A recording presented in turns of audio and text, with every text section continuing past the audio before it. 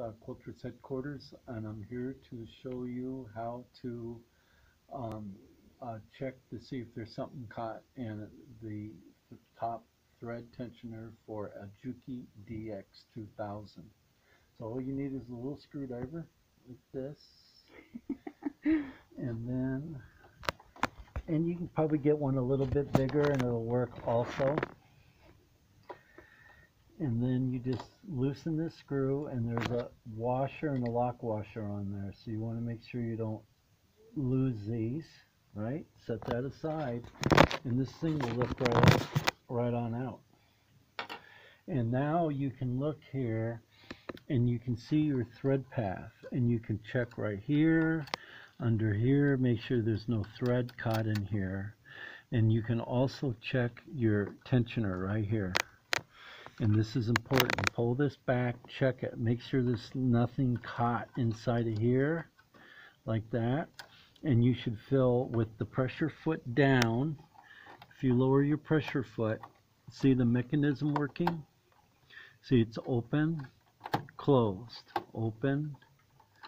Now it's closed.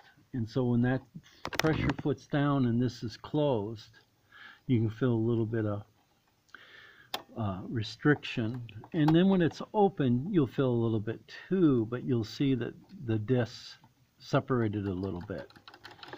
So you want to check that to make sure when you drop this down, you see this mechanism right here closing. And, and so you just go like that.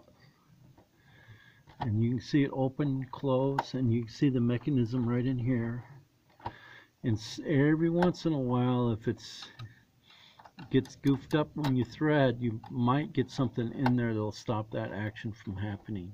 So that's a way to eliminate to eliminate the issue to find out what's going on. And then all you do is you can see here little deals here. You just go in an angle like this line it up drop it down get this screw. Don't drop it. And you just slip it back inside of here. And and it's good to kind of go counterclockwise. If you go counterclockwise it'll fit right into the hole. Then you go clockwise and it shouldn't be hard. If it's hard you're stripping it. You don't want to do that. And then you just tighten it. You don't have to tighten it like it's a diesel engine just slightly tight and that's how you do that repair. Thanks. This is Bob at Quilters headquarters in Sioux Falls, South Dakota.